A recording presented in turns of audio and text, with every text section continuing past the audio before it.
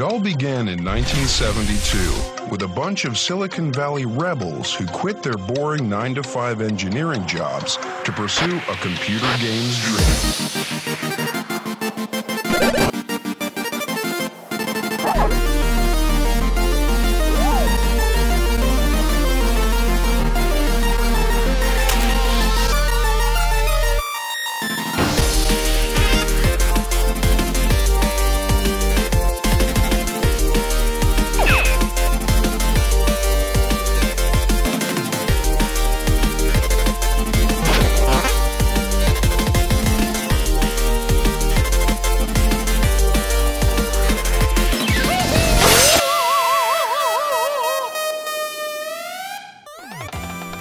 Hó, Béláim, vajon hányan vannak közületeknek a gyűrűkről, nem a legény élet keserű feladása, Tolkien regénye, vagy éppen a Fairy gyűrűs memorit eszébe, hanem egy kék egifüggő sünmalac, aki szó robotokat zúz és flipper golyónak hiszi magát.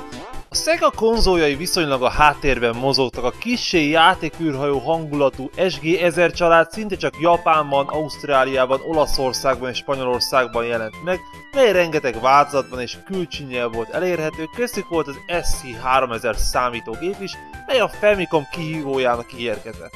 Hamarosan a már ismertebb, de hardware elemeiben rendkívül hasonlatos és visszafele kompatibilis Sega Master System váltotta, mely már 8 KB RAM-mal és 16 KB virtuális RAM-mal bírt.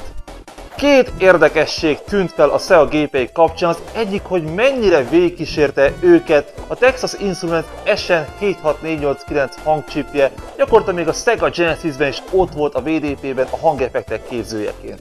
Pedig a sokkal, de sokkal öregebb Texas Instruments TI-99 számítógépekben is ott volt már, a másik pedig, hogy milyen sok ramot használtak relatíve a Nintendo párhuzamosan gyártott gépeihez képest. A Master System szintén nem tudta a Nintendo-t megszorongatni, de a Sega legsikeresebb kézi konzoljának, a Game Gear-nek az alapjául szolgálhatott.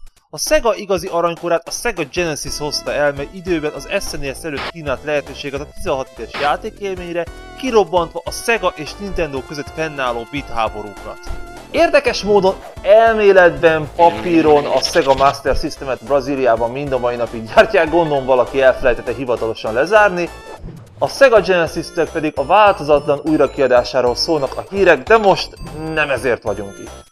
Sega Genesis már egy méltó golyószorongatója volt a Nintendo egyeduralmának, ebben viszont komoly szerepet játszott, hogy a Sega is kitalált valakit, akit a játékosok megszerethetnek. Miután a hamburger zabál Alex Kidd hiány volt karizmatikusságnak, a Sega pályázat írt ki az új kabal megalkotására, melynek eredményeként 1991-ben megszületett Sonic. Ez a pályázat eredményezte Ristar elődjének megjelenését is, aki sajnos egy méltatlanul elfeledett videójáték karakter maradt, de pontosan ezen a pályázaton született meg az örökös főgonosz Dr. Robotnik elődje is, akit ma már Eggmannek hív.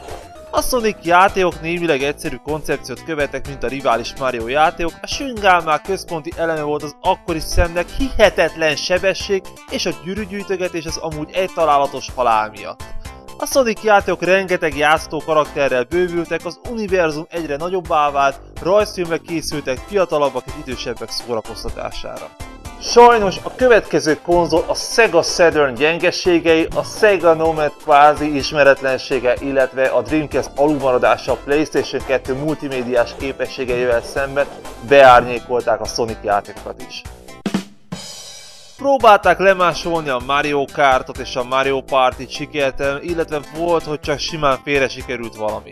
Ma pedig az a furcsa helyzet állt elő, hogy a két korábbi rivális kibékült, így Mario X Sonic crossover játék is létezik, de a Sega tulajdonképpen ma már minden konzolra fejleszt és kizárólag a szoftver elemekkel foglalkozik, miközben... Egy pillanat! Eltévesztettem volna a YouTube csatornát! Nem, nem bolondultam meg, ugyanis sok egyéb mellett jelent meg Sonic játék az Atari 2600-ra. 2014-ben. Nem könnyű információkat találni róla, de Chris Fry 2013-ban kezdte el publikálni demóként Batari Basicben írt játékprogramját az Atari Agent, és a megfelelő topikban gyakorta végigkövethetjük a fejlesztés menetét, az elég kerülő problémák sorozatát, ahogyan ötleteket cserélt a tagokkal, és kvázi ezt teszi ezt az egész Hamburg dolgot csodálatossá, a retro életérzés által összekovácsolt kreatív chip közösség. Amit én ezekből a sorokból leszűrtem, hogy a TIA rendkívül korlátozott hangkészleten nagyon kifogott a programozón, hogy 64 kilobajtos romot használt a rengeteg sprite és egyéb játékelem tárolására, valamint, hogy 5 kristályt kell robotniktól visszaszereznünk, és az ő magatartásától függ, hogy a térkép mely elemeit kell bejárnunk. A Boxart nagyon tetszik, ugye a cím módosítva lett, ahogyan az Atari 2600 Mario és Princess Rescue, de az art azonnal felismerhető, nekem nagyon tetszik ez a rajzfilmszerű grafika, ami visszaköszön. De foglalkozzunk a já...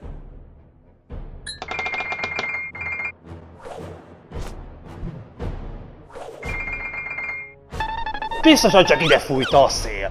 Én magam csak a Sonic the Hedgehog Hong Kong által Famiclonra átorzított torzóvázatát ismertem belassítva a gagyi grafikával, ezért a vad nosztalgia biztos nem vakít el. No igen, láthatjátok mennyire másként viselkednek a PAL gépek, 60 Hz-et kapnak. A cartridge hátulján is ott van, hogy PAL 60, szóval az NTSC mellett Chris Prime nem az európai PAL vázat készítette el, hanem a Brazíliában használt PAL M formátumot, ami nagyon sok paraméterben az NTSC-nek felel meg. A dolog nem lett meg, hogy az Atari 2600-on a programozónak magának kell a scanline-ok számához igazítania a grafikát. Ugyanis a PALM formátum esetében 60 Hz képfrissítés mellett 525 scanline mód használatos, míg az európai PAL esetében 50 Hz frissítés mellett 625. És ezt Atari 2006 esetében így nem lehet csak úgy simán elnyújtani. Érdekes módon az ősrégi Videoton TV gond nélkül megbirkózik vele, de az LG DVD felvőn meg kifog és elcsúszik a kép. A kezdő képerő nagyon bejön egyszerű, de Sonic úgy mosolyog, mint aki életében először lát melleket, a kultikus zene pedig olyan édesi, áttorzító. A térképen láthatjuk, ahogyan begyűjti Dr. Robotnik a kristályokat, amiket ki kellene vernünk belőle. Véletlenszerű, hogy melyik világban kezdünk, ami annyiban kellemetlen, hogy lehetetlen begyakorolni az első szinteket. A játék grafikája páratlan, eléggé hasonlít a Princess Rescue-ra ebből a szempontból is, a fős a képernyőz mérten nagy és részletesen kidolgozott, még a topogó mozgás adott. Az ellenfelek többséget szintén felismerte az eredeti játékból. A pálya viszont... Szóval egy igazságtalan tahó lennék, mint régen. Hey! Mennyi Atari játékban volt szépen megrajzolt statikus háttér, erre a Mario és Sonic átiratban meg egyszínű vagy, hogy sima téglalapokból áll a pálya, mint mondjuk a Pitfallban kidolgozottak a tereptárgyak is? Nos, én úgy gondolom, mivel sem a hercegnő mentés, sem a sünkalan nem tartalmaz tükrözött hátteret, valamint ezekben a játékokban rengeteg fizikát kell programozni, teszem azt például az ugrást, ami emlékszem rá, hogy nekem Game Makerben is hatalmas kihívás volt, én úgy gondolom, hogy grafikkal némileg fel lett áldozva ennek az oltárán a CPU használat érdekében. Azért programozási hibák előfordulnak, ami a képernyőn kívül van mindig rejtély, objektumok tűnnek el, illetve kerülnek oda random, az ugrás még néha csúnyán irresponsív, ami az eredeti játék gyors pattogós játékmenetét nagyon megnehezíti, pedig bizony igény az volna rá a széles szakadékoknál. Ilyenkor büntat nélkül dolgba egy Sega Genesis irányított, d nélkül meg se próbáljátok. A játéktér három szintű, a legalsó fekete hátterűn kezdünk, a ruhok csak a feljebb jutásban kapnak szerepet, a második szint kék hátterű, a harmadik szint pedig egy breakout-szerű bónuszpálya. Az eredeti játékot nyilván nem lehetett visszadni, de ettől még állatira pumpálja az adrenalint. Érdekes módon vízalatti rész szintén fekete, csak a belassult mozgásból és a falakból jöttem rá, hogy úszunk, szerencsére megfulladni nem tudunk. A játékot próbáltam szakmai szemmel is nézni, a legérdekesebb, hogy szinte mindig 6 darab gyűrű vár ránk egyszerre, amiket párosával szedtünk fel, illetve két ellenfél soha nem jelenik meg egyszerre a képernyőn. Az ellen szintén megakad, ha valami hangeffekt megszólal, de a legfurcsább, amikor a talaj nem eltűnik, hanem a lábunk előtt megjelenik a barlangzónában, ott konkrétan belassul az egész játék, Nyilván valami önmagába visszatérő ciklus gyilkolja a szegény MOS 6507 CPU. De hogy a játék élményről magáról is beszéljek, nehéz. Piszkosul nehéz. Van három élet, és azok elfogynak, már sűvít is a Game Over a képedbe, és ez nem a Secret Quest, itt tényleg előről kell kezdened, hogy legalábbis az egy kristályjal megelőző állapotról. Na akkor most mi legyen? 7 óra játék és káromkodás újból, mint a múltkor? Nos, ami történt velem, hogy másfél óra alatt rengeteg káromkodás és csapkodás mellett kiátszottam ezt a csodát, de az anyagot, amit a DVD felvő felvett, csak ő maga akarta olvasni, a Handbrake által grabbelt MP is használhatatlan volt, a Mencoder sem tudott kezdeni vele semmit. Nos úgy 5-6 óra agyalás és felváltott várakozástán rájöttem, hogy csak úgy tudom használni ezt az anyagot, ha a B-Fedbe beimportálom a DVD-n található VRO fájlból a hanganyagot, ezt kimentem, majd Vegas 9-be beimportálom a VRO, de leállítom a peak készítés miatt még kiváltokozna, aztán kimentem ezt az egészet hang nélkül, és talán a vércsaladabban összeollózom. Nem értem, miért utál engem minden modern cucc ennyire lassan? Eljutok odáig, hogy valami ősrégi kamerával és egy VHS felhővel állok neki dolgozni, azok talán még elfogadnak. Ellenfelek javarészt felismerhetek az eredeti játékból, sőt egyes játékelemek is visszatérnek, mint a gombnyomással nyíló kapu, vagy a plafonból lelógó láncsa, illetve a flipper videók, vagyis a játék hozza az eredetit. Csak kell az a fene nagy képzelőerő, ami mostanra sajnos hogy kiveszett belőlünk. Nekem személy szerint a Green Hill Zone jön be a legjobban a rengeteg fordulóval, a hidakkal, a dombokkal. Na, erről beszélek! Képzelőerő! A vizes labirintus pályában különösen tetszett, hogy itt jutottam elsőként Robotnik színe elé. Míg az eredeti játékokban itt mindig elakadtam. Ahogy haladunk előre a játékban, egyre szabadabban lesz bejárható, ergo előfordulhat, hogy minden pályán összekoszáljuk robotnyi pajszát. Sajnos nála könnyű elvérezni, ugyanis hat találatot bír ki, míg te egy találat után elveszed a gyűrűidet, és utána a következő találatnál kompetsz. Ez különösen az utolsó csatánál durva, ahol egyrészt Robotnik rendre a neked legrosszabb hely jelenik meg, másrészt a lövedék is kiszámíthatatlanok, aztán Game Over esetén elbuksz egy kristályt és verheted meg még egyszer hagyományos módon, többnyire reméltem, hogy a Star Zone vagy a Cave Zone felé veszi az irányt. Győzelem estén, ha még látunk az agyukban keletkezett bevérzésektől, kapunk egy aranyos gratuláció képet, és ezzel a játék lezárult. Vagy mégsem? Nyilvánvaló, hogy egy régi játéknál van lehetőséget utánézni a végigjátszáson túl a technikai háttérnek, az inspirációnak, az elkészítés körülményeinek, a titkoknak, míg ez a lehetőség egy alig pár éves Homebrew játéknál nem áll fenn, úgyhogy ki mást hívhattam volna segítségül, mint magát az alkotót. Köszöntsétek Chris Pride a világ másik feléről! Hello, here's member from Atarian and my guest for this interview is Chris Spry, the creator of Zippy the Porcupine. Uh, it's very hard to pronounce. Say hello. Hello there. How's it going? Uh, my first question for you: Why have you chosen Sonic Well, for this um, game? the previous game that I did, Princess Rescue. You, I talked to you a little while before this interview, and um, and you just found out. You just found out that I did yeah. Princess Rescue too. You had no idea. And, it, it's very similar in many aspects, and uh, I was wondering why. Because it has the same large sprites of the main characters. Uh, the sprites of the other characters are very detailed as well for the VCS, uh, but uh, the surroundings are made uh, uh, with the ability of the playfield of the that's, yeah, that's correct. That's about I the only way you can do it uh, when you're when you've got uh, a world uh, that your character's running through. Because all you have in uh, on the Atari to use, at least hardware wise, is two sprites, a ball, two missiles, and then the playfield blocks, and that's all you've got to use. And, and, And and the background color you too as well. yes, but yes, that's and about you all have you got to- to use. So you have to you have to do with what you've got, and I did the best I possibly could with both of those games, uh, Princess Rescue and Zippy the Porcupine. I think uh, you had made uh, the best with it because it's a very well designed game, uh, except some kind Oh, of uh, yeah. programming errors that uh, maybe happens because uh, with the with the outside of the screen that uh, some things appear, sometimes things disappear. That's the only errors I have found. Uh, maybe because uh, it's be, uh, the VCS Mm, have a Tell lot me of about limits. it. I mean, it's uh, games on that scale, especially for a, a, a system that that's that is that primitive. Um, it's really easy to have things mess up, and when it's when the games are that big of a scale and you got so much going on all the time, it's hard to test for everything. In fact, on a Zippy the Porcupine, I had probably about eight beta testers, and they beta tested this thing and reported back errors for about six months. And I fixed. There's a quite a bit of errors they were reporting, and I fixed all the ones they told me about. You told me about one that happened to you uh, just the other day, I had never heard of this problem before. This has never happened to me. It's never happened to any of my beta testers, but it happened to you. The the one when I uh, get to some point Yeah, and that's never happened before. disappeared, then a sound of beeping appeared, and there was somehow Robotnik, and then I have no just- idea how that happens because that's the boss battles That was a a completely different routine that happens in a different I was- of memory, and how it jumped there like that. I could not begin to tell you how that happened.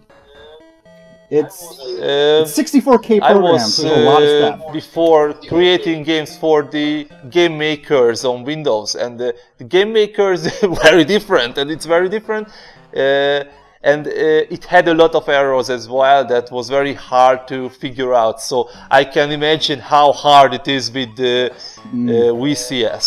Uh, I I know you were using the Batari basics, so you had not to know Right. the assembly, uh, Yeah, assembly I- language of the of Yeah, the MOS um, CPU.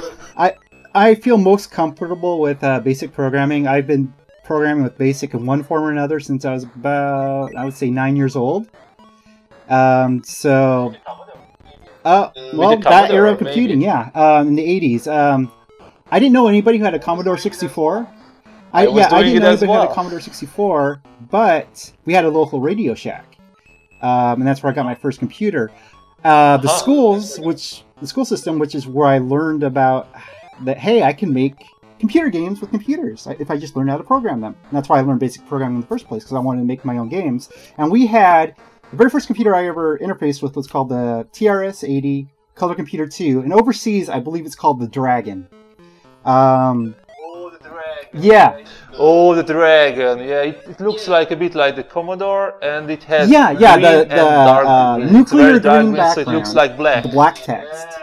32 uh, Yes, text columns, yes. toxic. and uh, that was my first experience with computers. And I uh, some uh, uh, um, a fellow classmate of mine, we used a, a program called Logo on it, which is you can it's like a little turtle that you can make drawings with, and that's Oh no, the Cummins logo. I think every know computer in the 80s had that program. I have, I have studied it in uh, uh, after 2000, and I don't know why. Nobody know why it was part of the Yeah, educational system Right. uh, that late for us, and uh, we have really not uh, known uh, learning uh, how to uh, create compu- uh, programs for the computer, and uh, that would be more suitable because. Uh, uh, in Europe, in this country, uh, there are not so many programmers that uh, we would need. So, That- uh, that was my going back to the going Oh, go going back to the cart Okay.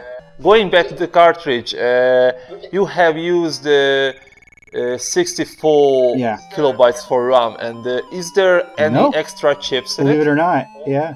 No SARA, no. O- so you have only only you have only used the 128 uh, uh, Yep. bytes of RAM for this whole game.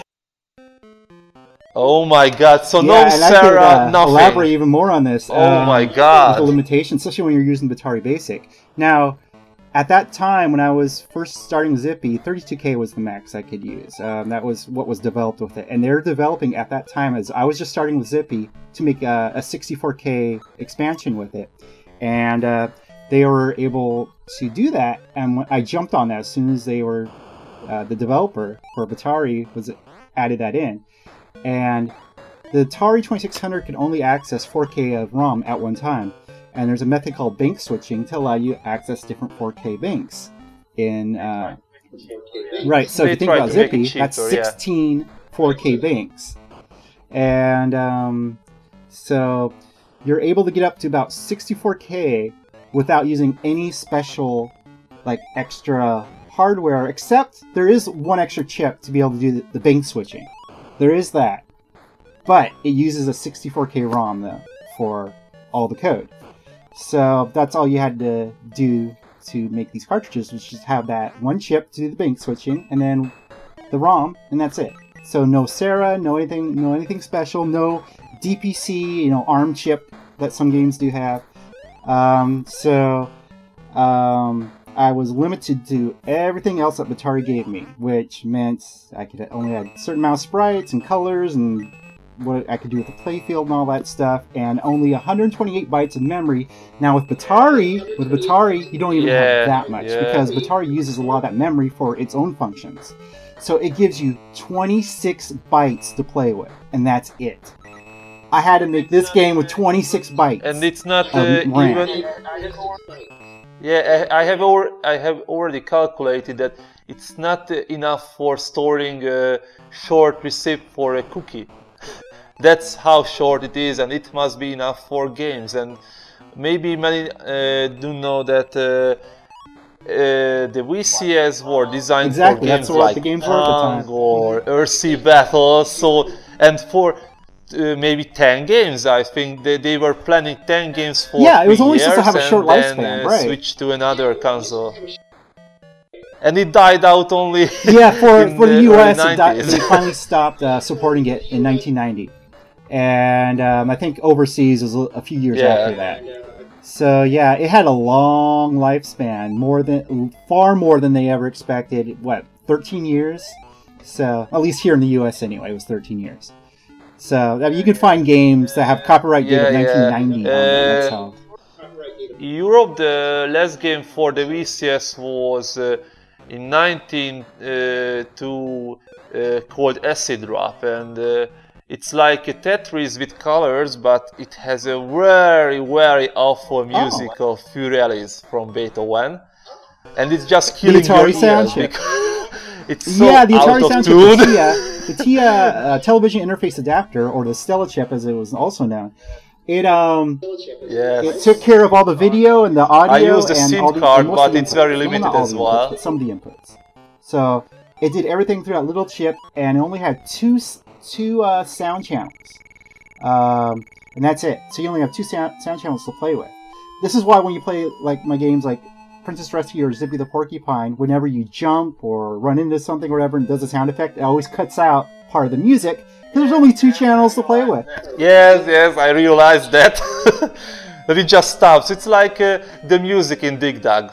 Oh yeah, it does. You're that right. stops. yeah. That's only plays when you are work going, and then it just stops. At, And then you use the, your pump, and then that's all you hear. to, uh, do an alarm yeah, so, yeah, yeah. I know what you're saying. Yeah, it's it's, it. it's horror like. That, yeah, you know, one of the limitations right there. And what was the hardest part?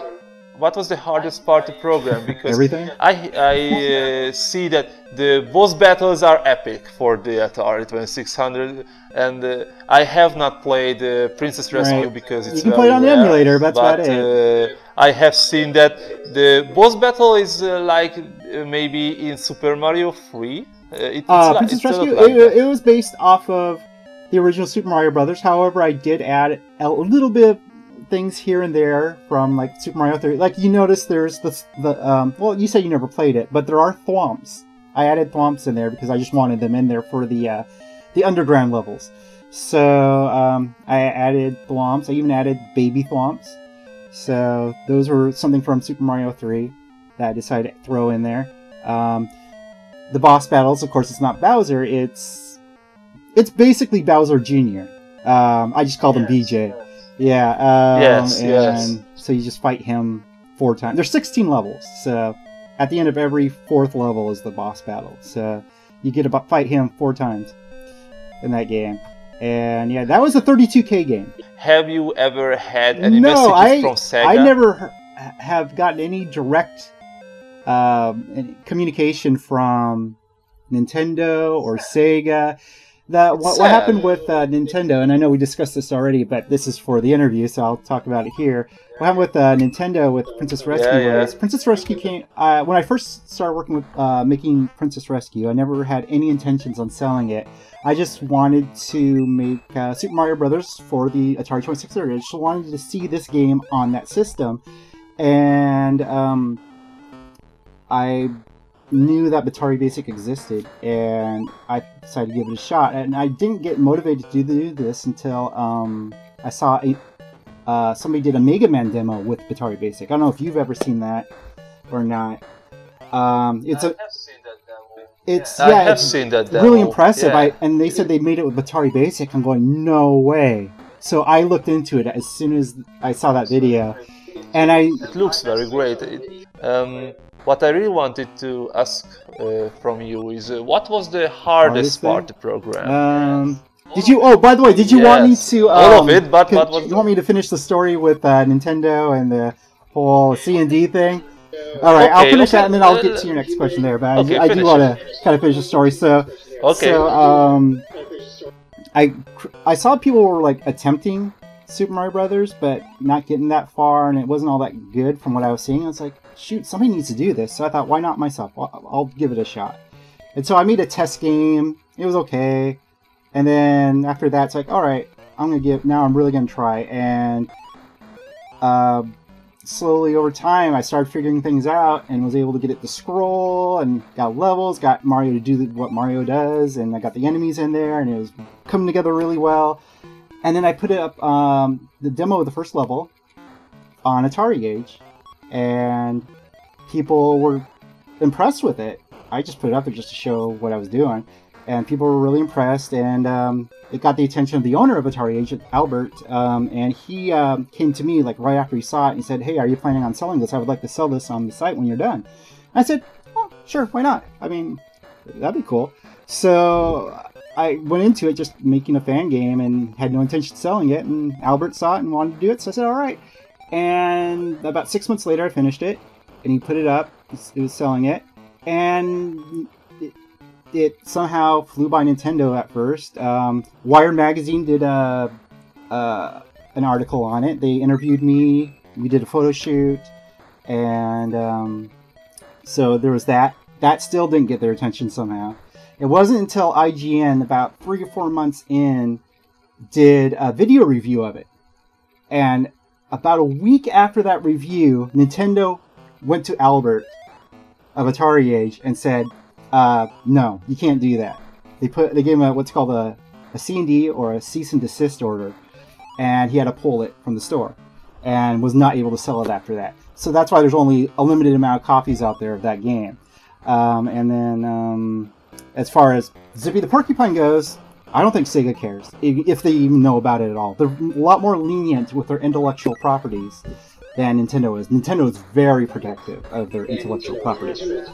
And going back to the first question, uh, have you ch- have you chosen uh, Sonic and Mario because uh, they are very popular in gaming culture, and uh, if you are testing your programming skills with them, uh, people will noti- notice it better, or because you love uh, Sonic and Mario? Well, I've much? always been a fan of the Mario franchise, so that was part of my motivation too. Because I felt like uh, for making a Princess Rescue, um, because I wanted to see a Mario game on the Atari 26. I always wanted to see a Mario Super Mario game on the Atari 2600. Now there was Mario Brothers, of course, on the Atari 2600, the regular one, and it wasn't it wasn't Yes, very well yes, done, yes. but I- it's I there. And then um, but they ne- when I was a kid, I thought they were going to make Super Mario Brothers for the Atari too, but they never did. And I was so disappointed in that. I mean, uh, the Atari was the By, but they did Double Oh, Dragon. and it's not a bad game, but it's uh, hard to recognize the character. Oh yeah, but the lot, whole game is in there. with the Atari, so Or I Kung Fu they Master. probably didn't think they could do it Yes, uh, at the time either. So there might have been that as well. Um, but I um um what was I saying? Oh yeah, why did I choose? Um, I, I always had a love for the Atari, and um, because it was the first thing that introduced me to video games. I had it growing up.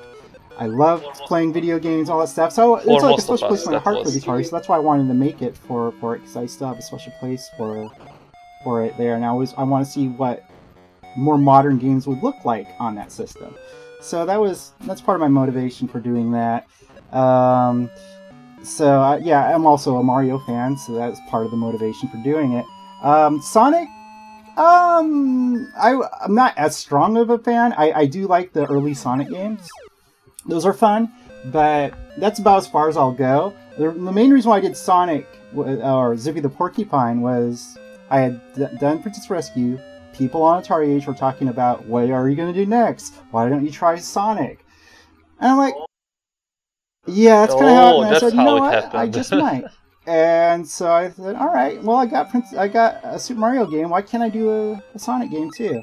So I just did it, and it was it took me a lot longer because yeah. Uh, the, the maybe the three uh, three most popular mascot characters are Pac-Man, Mario, and Sonic. Maybe they will ask uh, Oh, Solid I'm not Snake doing a Metal you. Gear game. Make it on the Atari. In fact, that, that's it. That's But- it. Those are the only two about- franchises I'm going to tackle. I want to do my own original games now, and that's what I'm working on right now, actually. Uh, that's what I wanted to ask because uh, mostly if you are some kind of cover, people recognize it, but uh, your own stuff are mostly Yeah. off the light, and that's what I really hated. And that's why I want to ask uh, you about your own games, Yeah, I, your, I've your own had my ideas. own ideas for games since I first started learning programming when I was a kid, um, and I did make a lot of my own games. Um, but now here, here's the uh, making games for the Atari now, and I got those two out of the way. And then after I got those two out of the way, and I got some recognition for it. Now I feel because I've got some recognition that I could put out my own game. And since now I have Princess Rescue and Zippy the Porcupine under my belt, that people will think that oh this next game he's working on is probably going to be just as good and they expect like a certain amount of quality from myself. And um, Yeah, yeah. i'm trying to outdo myself on this one just like like i did with the previous two games. In fact on this one i'm using a what's called dpc plus which is a, an additional chip that's in the cartridge uh, an arm chip um, that takes care of a lot of stuff. DPC, the one that were used in Pitfall oh sorry 2, was that? That's the, that was the yes it was the, chip used the in original Pitfall 2. dpc chip is what uh, is in pitfall 2 which allowed for not just the um, it was mainly known for the uh, sound that it produced uh, Yes, but yeah, yes, it does have other has a lot features as well, which is why you got so much detail and a lot of stuff, yeah. the, all, large levels that are in that game. Oh, by the way, I did see your review of that. The vertical, Oh, yeah. the vertical scrolling on the screen, Yeah. and that was Mhm. very great in that game. But uh, somehow uh, there were things that were left out uh, in Pitfall 2 that was uh, in Pitfall the first. Uh, were there things that uh, were left out from Zippy? Um, yes. Ideas that were wasted because uh, Oh, there was not plenty of enough stuff. I, I knew what the limitations were going in because I learned them all from Princess Rescue, my experience with that. So going into this, it's like, okay, so what can I do and what can't I do? And if I can't do this, well, what other thing can I do to kind of uh, supplement uh, what I can't? And so that's why there's like the, the bonus stages that you see inside every level. Is that was my uh, that was my solution to get around some of the stuff I couldn't put in. Yeah, yeah, yeah. The, Like reverse bouncing breakout, ones. You, yeah. you mentioned the And bouncing. so there's that. There's another thing I wanted to do that That's I great, couldn't, that's which was one. having the rings explode from Sonic. You know when he gets hit, couldn't do that. I tried at one point, and it just took up too much uh, program space, and took up. T- yeah, it just it just mainly took up too much program space because you had to, in order to get that many rings to come out, I had to like individually draw them, like frame by frame, to do something like that. And that just takes up a lot of space that you're yeah, limited yeah, with. yeah. So I couldn't do that like I wanted to. Um, so that's why when you run into a, an enemy in, in Zippy the Porcupine, he just invisibly steals the rings from you. And in order for you to get them back, you have to pop Yeah, the yeah. enemy, and then he'll give you six of them back. Okay, for the last topic I have chosen, uh, what do you think? Uh, what would be the best for the Atari brand? Because uh, nowadays they are just doing uh, flashback consoles and uh, other mostly laughable things, and uh, there are some uh, ideas on Kickstarter, but uh, I think many of them are just don't have the feeling of Atari. It's like a modern console that uh, tries to seem like uh, an old one, but uh, it's really not that. But uh, I would choose for another Atari console.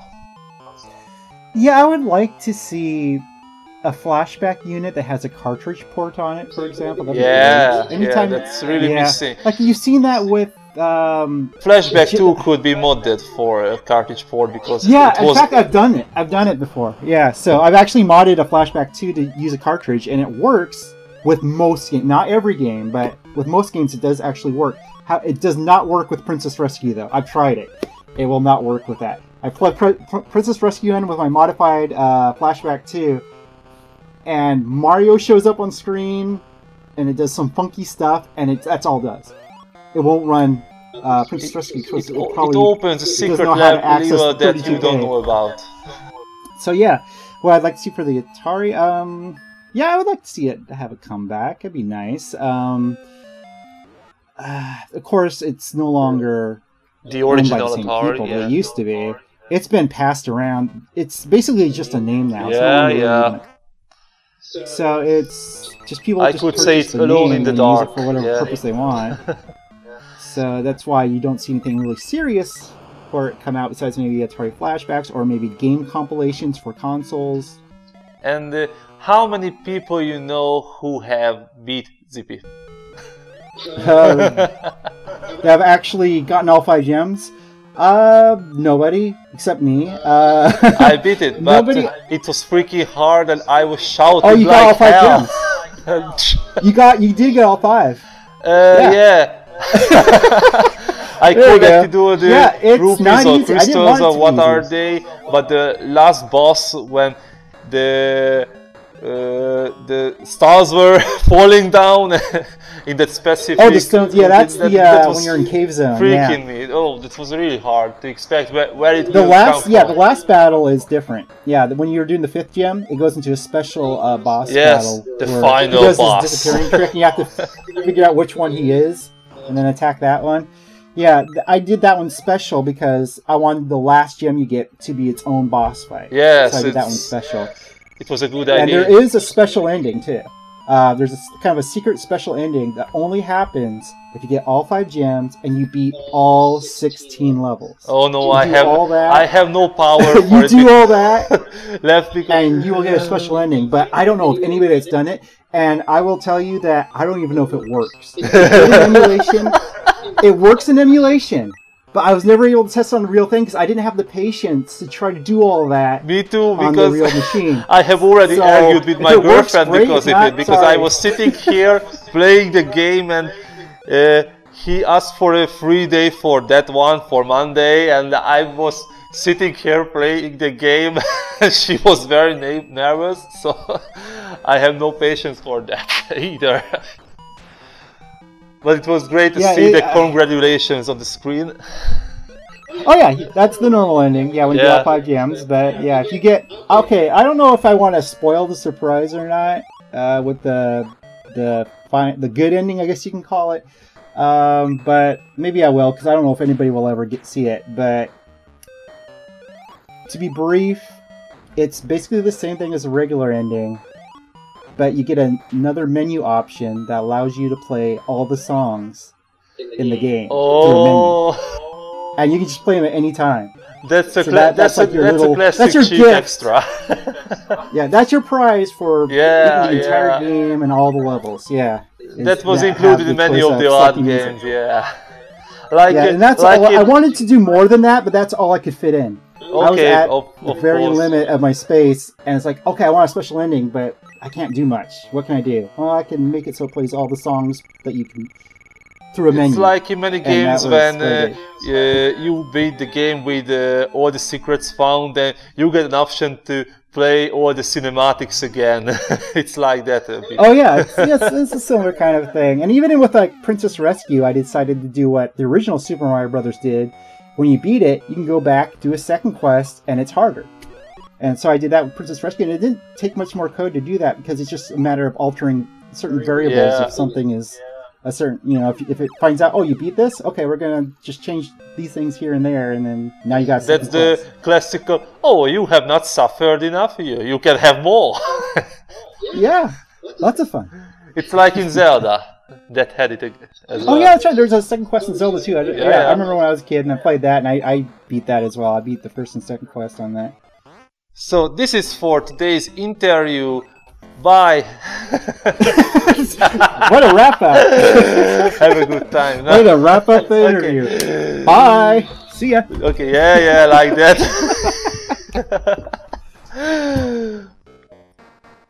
okay, so this is for today's interview. Bye. Have a good time. Nos, ma is rengeteget tanultunk, legfőképpen azt, hogy egy konzolnak igenis lehet nagyon komoly utóélete. Most viszont, ahogyan ígértem, fejezzük be a játékokat, és következzék a várva várt... Mi a fene? Megállj! Adom vissza!